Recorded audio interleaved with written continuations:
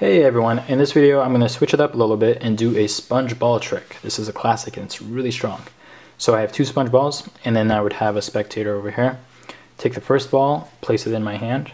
Second ball, I would place it in their hand. We'll just use my hand in this case. And then uh, you do the magic move. And just like that, the ball vanishes from my hand. And then you ask them to slowly open their hand. And there it is. To do this trick, uh, there's really only one move. It's a false transfer and uh, let me show you what that looks like from the front view.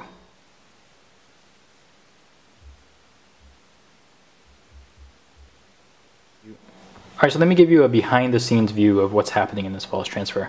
You pinch the ball between your first and ring finger of your right hand, just like that.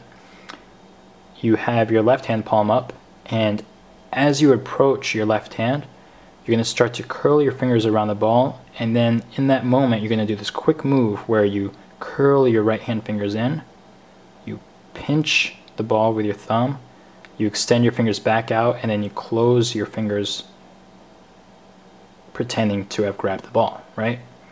So in slow motion, let me do that again, like this.